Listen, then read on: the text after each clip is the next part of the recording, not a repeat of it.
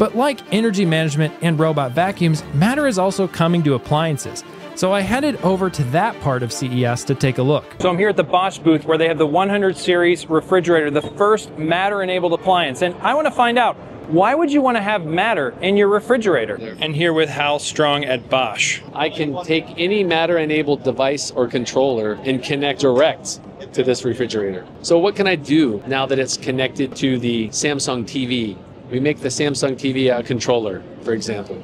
So, I can, from the TV and the remote of the TV, I can actually change the temperature of this fridge because we've connected the TV to the fridge or I can actually receive notifications. Maybe I've left the door open, okay, because I went and grabbed a bottle of water and I ran outside because I had a phone call or something. Sure. Right? And then immediately on the TV or any of my Matter enabled devices that have been connected, they will give me a notification if I've chosen that to, to occur. Because otherwise, the door would be left open for hours. And, and next year, when we come back to CES, I bet we'll have an oven that's Matter compatible, a cooktop, and a dishwasher, and hopefully, we'll see other brands doing the same.